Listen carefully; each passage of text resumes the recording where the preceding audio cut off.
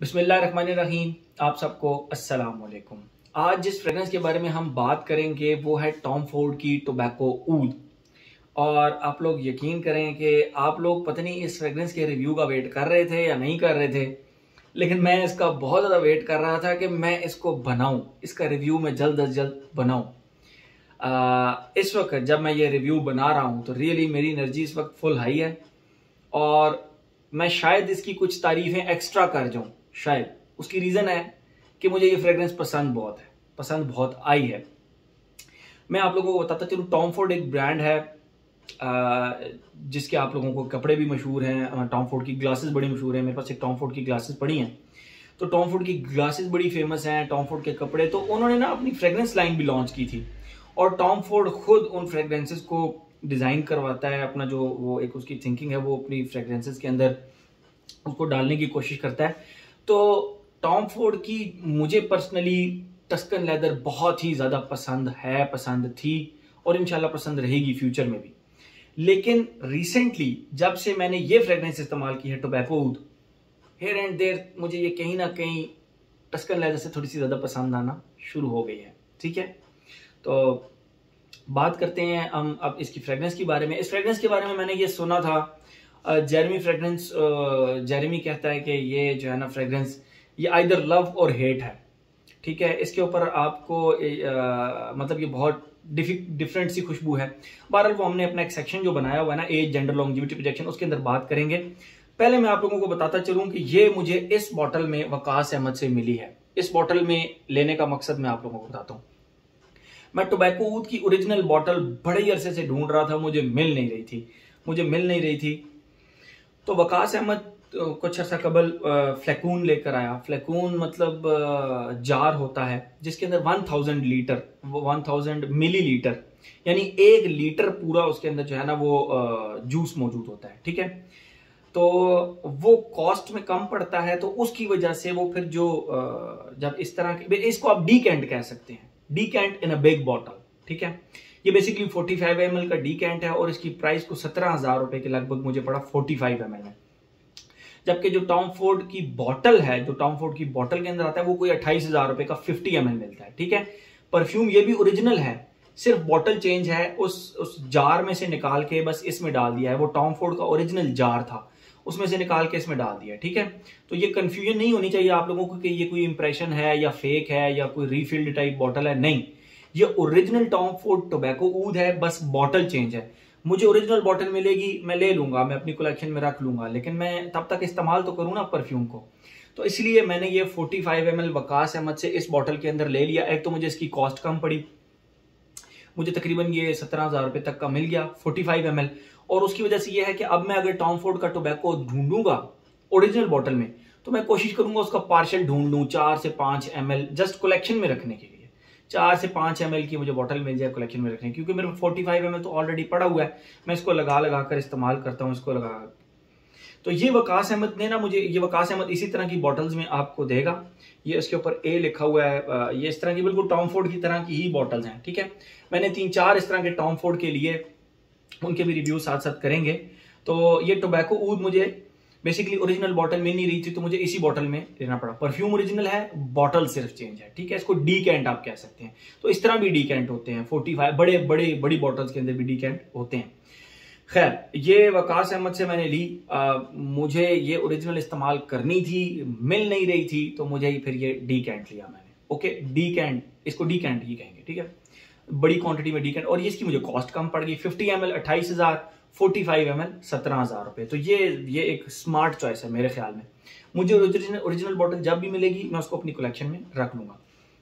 2013 के अंदर ये फ्रेगरेंस लॉन्च हुई और 2013 वो टाइम था जब मैंने लाइफ में फ़र्स्ट टाइम टस्कन लेदर इस्तेमाल किया था। उस वक्त ये फ्रेगरेंस मैंने इस्तेमाल नहीं की थी।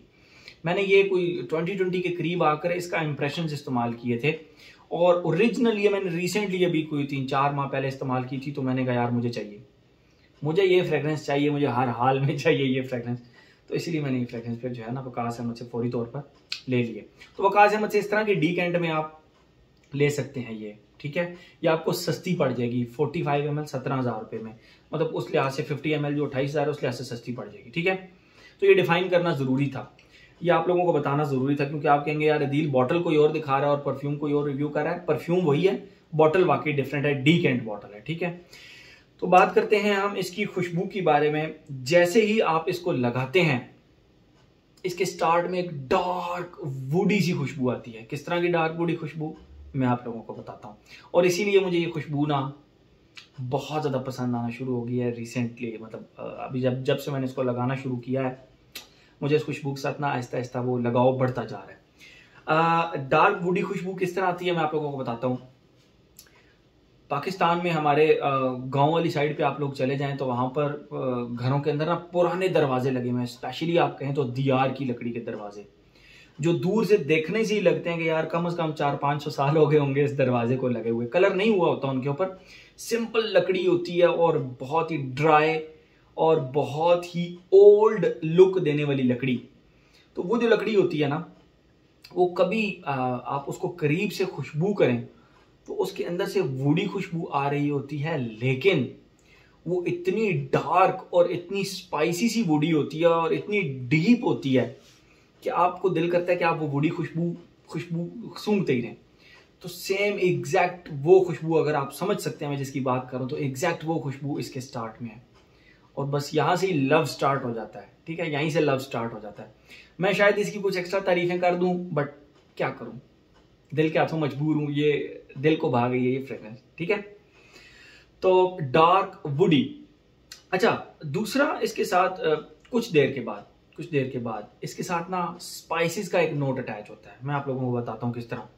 हमारे घर में कभी कभी पुलाव पक रहा होता है ना तो पुलाव में चावल डालने से पहले जब वो पानी के अंदर गरम मसाला डिफरेंट किस्म के मसाले डाल के जब वो गर्म हो रहा होता है ना तो आपको वो स्पाइसेस की ना एक स्पेसिफिक खुशबू आ रही होती है। गरम मसाले की खुशबू, जीरे की दारचीनी की, आप लोग समझ रहे हैं मेरी बात वॉर्म स्पाइसी टाइप तो उस वुडी उस वुडी खुशबू के साथ ये स्पाइसेस की खुशबू भी अटैच हो जाती है। लिटरली लिटरली वो स्पाइसेस की खुशबू। यहाँ पे आकर डबल लव हो जाता है ये फ्रेग्रेंस ये फ्रेग्रेंस और ज़्यादा ज़बरदस्त हो जाती है। तो ये तो हो गया इसका सेकंड फ़ेज़ यानी सेकंड फ़ेज़ में डार्क वुडी खुशबू के साथ साथ आपको स्पाइसेस की खुशबू भी प्रॉपर गरम मसाले टाइप स्पाइसेस की खुशबू भी मिलेगी। लेकिन वुडी वहाँ पे प्रोमिनेंट रहेगी खुशबू। 20 परसेंट स्पाइसेस उसको बूस्ट कर देती हैं, ठीक है? बस 20 परसेंट ये तो हो गया इसका सेकंड फ़ेज़ थर्ड फ़ेज़ के अंदर इसकी जो वुडी खुश मतलब स्पाइसेस की खुशबू डिसअपियर हो जाती है, फिर वुडी खुशबू के साथ ना आहिस्ता आहिस्ता एक वनीला की खुशबू इंट्रोड्यूस होती है। वो वनीला नहायत क्रीमी नहायत राउंडेड सा और नहायत स्वीट वनीला यस नहायत स्वीट सा वनीला। मतलब स्वीट इन द कैटेगरी के वो जब क्रीमी हो गया तो फिर वो उस तरह उसका वो नहीं रहता शार्पनेस नहीं रहती वनीला की। लेकिन वो क्रीमी होने की वजह क्रीमी होने के साथ साथ स्वीट भी है। अब आप कंसिडर करें कि एक डार्क वुडी खुशबू के साथ जब इस वनीला को बिठाया गया होगा तो इस कॉम्बिनेशन को मतलब कमाल का कॉम्बिनेशन है, ठीक है? अच्छा यहाँ पर आकर अब वुडी खुशबू जो है ना वुड्स की डार्क वुड की खुशबू, वो धीमी होना शुरू हो जाती है और जो आपकी वनीला की खुशबू है, वो थोड़ी थोड़ी थोड़ी थोड़ी इंक्रीज होना शुरू हो जाती है। और इसके अंदर जो वनीला एंड पे रह जाता है, वो लिटरली इस तरह का वनीला है, जिस तरह राउंडेड सा स्वीट वनीला राउंडेड क्रीमी सा स्वीट वनीला और उसके साथ हल्की सी हल्की सी आप स्पाइसेस जिसमें आप कह सकते हैं कि थोड़ा सा काली मिर्च थोड़ा सा जीरा थोड़ा सा सिनेमन मतलब स्पाइसी बन जाए प्रॉपर आपको फील हो मर्चों की तरह का ना तो वो वनीला के साथ उन स्पाइसेस को बेसिकली वनीला के जो अपने जाती अकॉर्ड होते हैं 247 अकॉर्ड्स हैं। वनीला कैन बी सिट्रसी उसकी खुशबू सिट्रसी भी हो सकती है। वनीला कैन बी वो क्या कहते हैं उसको फ्लोरल टाइप भी होता है। वनीला स्वीट भी होता है और वनीला स्पाइसी भी होता है, ठीक है? तो इसके अंदर जो वनीला है ना, वो स्पाइसी वनीला है। वो स्पाइसी वनीला की खुशबू है। और वो जो वनीला की खुशबू जब वहाँ तक पहुँचता है तो वहाँ पे ये लव मल्टीप्लाई थ्री हो जाता है। लव मल्टीप्लाई थ्री हो जाता है इसके फोर्थ फ़ेज़ के अंदर। यस इसके चार फेजेज हैं। एंड पे बिल्कुल जब ये वनीला रह जाता है। बहुत ही ज़बरदस्त खुशबू, बहुत ही ज़बरदस्त। ये तो होगी इसकी खुशबू। अब हम आते हैं अपने एज जेंडर लॉन्जिविटी की तरफ़। यहाँ पर मैं आप लोगों को कहूँगा एज एज चलें एज की बात करते हैं। एज की बात करें तो मेरे ख्याल में अकॉर्डिंग टू मी हर वो बंदा जिसको डार्क वुडी फ्रेग्रेंसेस पसंद है, चाहे वो आठ साल का बच्चा है, चाहे वो साठ साल के अंकल है, आपको वुडी डार्क वुडी फ्रेग्रेंसेस पसंद है गो फॉर इट किसी की मत सुने कि ये जो है ना, ये इसमें वो क्या कहते हैं इसको, ये लव और हेट टाइप थिंग है? No no. अगर आपको वुडी फ्रेग्रेंसेस पसंद है गो फॉर दिस आँखें बंद करके. ठीक है? एज हो गया। हर एज का बंदा लगा सकता है। जेंडर मेल ओनली मेल ये बहुत ही बोल्ड पंजेंट और बहुत ही मैस्कुलिन फ्रेग्रेंस है। I don't think so ladies इसको आपके ऊपर लगे हुए तारीफ़ ज़रूर कर सकती हैं, लेकिन वो लगाना पसंद नहीं करेंगी इसको, क्योंकि ये बहुत मैस्कुलिन किस्म की फ्रेग्रेंस है। टस्कन लेदर से भी ज़्यादा मैस्कुलिन है। ये मैं आप लोगों को पहले बता दूँ। अच्छा ये तो हो गया इसका जेंडर लॉन्जिविटी प्रोजेक्शन की बात करें, भाई, मुझ पे, मेरे फैब्रिक पे 12 आवर्स प्लस लास्ट किया इसने। 12 hours plus I am talking about Tom Ford tobacco oud मुझ पर, और recent batch recent batch 12 hours plus last किया इसने। और उससे भी मज़े की बात, इसने मुझे नोज़ ब्लाइंड नहीं किया, मुझे इसके वेव्स पूरा दिन आते रहे and I really enjoyed it I really enjoyed it मैंने जब इसको लगाया, मैंने इसको एंजॉय किया, ठीक है? तो एज हो गया जेंडर हो गया लॉन्जिविटी प्रोजेक्शन में लॉन्जिविटी हो गया तो प्रोजेक्शन में आप लोगों को बताता चलू इट प्रोजेक्ट्स ये प्रोजेक्ट करती है। और ठीक ठाक बहुत सारी वुडी फ्रेग्रेंस बहुत सारी क्या 99 परसेंट फ्रेग्रेंसेज जिनमें वुडी नोट्स होते हैं, वो प्रोजेक्ट नहीं करती। बट दिस फ्रेग्रेंस प्रोजेक्ट ये प्रोजेक्ट करती है, और ठीक ठाक प्रोजेक्ट करती है, ठीक है? और तकरीबन तीन घंटे आराम से ये आम लेंथ तक प्रोजेक्ट कर लेती है। उसके बाद भी करती रहती है, लेकिन मैं सेफ़ साइड तीन घंटे कहूँगा तो एज हो गया जेंडर हो गया लॉन्जिविटी प्रोजेक्शन हो गया। कॉम्प्लीमेंट्स की अगर हम बात करें यू वॉन्ट बिलीव यूट्यूबर्स मतलब जो जेरेमी फ्रेग्रेंस है, वो कहता है कि ये लव और हेट टाइप थिंग है। मुझे जितने कॉम्प्लीमेंट्स इसके ऊपर मिले हैं ना, मुझे उस बंदे ने भी कॉम्प्लीमेंट किया है जिसने आज मतलब आ, आ, उस बंदे को मेरे साथ दस साल हो गए हैं। उसने आज तक मेरी किसी फ्रेगरेंस के ऊपर तारीफ़ नहीं की किसी फ्रेगरेंस के बारे में पूछा नहीं। मैंने ये फ्रेगरेंस लगाई हुई थी और मज़े की बात लगाए हुए भी दो स्प्रेस तीन स्प्रेस थे। वन टू एंड तीसरा मैंने यहाँ पर लगाया था। तो उस बंदे ने स्पेशल मुझसे पूछा अब मैं बंदा मेंशन नहीं करूँगा उस बंदे ने मुझसे स्पेशल पूछा यार दी कौन सी फ्रेगरेंस लगाई हुई है आज? बहुत ही कमाल की फ्रेगरेंस है बहुत ही कमाल की। मतलब आप इस चीज़ से अंदाज़ा लगा लें कि मुझे जितने कॉम्प्लीमेंट्स इसके ऊपर मिले हैं, मुझे आज तक ना मतलब किसी फ्रेग्रेंस के ऊपर इतने कॉम्प्लीमेंट्स इतने कम टाइम के अंदर नहीं मिले।